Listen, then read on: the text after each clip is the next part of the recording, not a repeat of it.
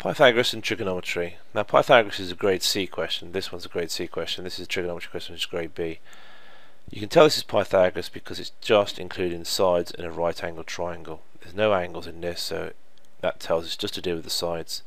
We can tell this is trigonometry because it's a right angled triangle again but we've got an angle involved as well as two sides.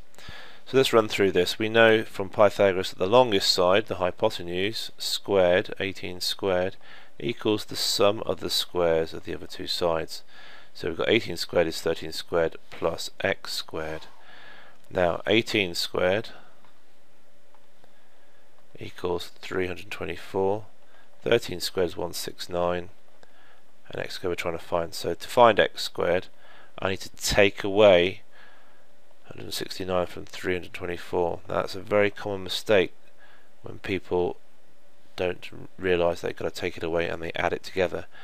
Because x is uh, one of the short sides, this is the longest side, then we must take away. So 324 minus 169 gives us 155, that's what x squared is. And so we need to square root that answer to get square root of 155, or 12.4 to three significant figures. Okay, calculate the length of x in a triangle. Let's actually just move that out of the way for now. Calculate the length of x in a triangle. Now, trigonometry question.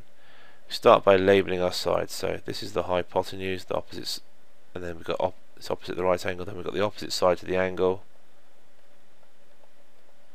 And then we've got the adjacent side, which is the one that's left over.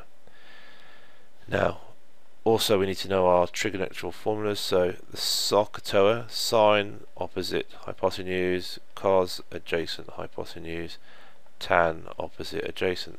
So SOHCAHTOA this one is using the hypotenuse and the opposite and the angle so we're using the sine formula.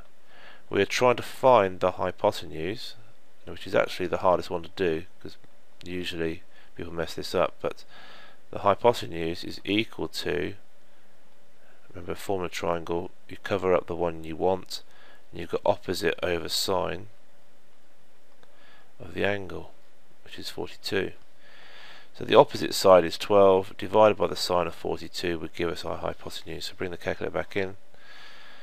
So 12 divided by the sine of 42 if it's close the bracket and we get 17 nine to three significant figures.